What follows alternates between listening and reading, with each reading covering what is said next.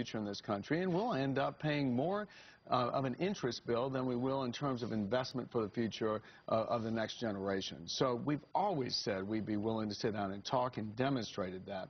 And unfortunately, uh, there's just been no willingness to put a solution on the table on the part of this president. And again, the next 42 days, really, I believe the folks in the middle and those who are undecided are going to look at this president and ask where the leadership is, and they're going to go and vote for Mitt Romney. All right, Leader Cantor, I want to thank you very much for joining us on set today. Thanks. Great to be here. Great to talk to you. Right now, let's get over.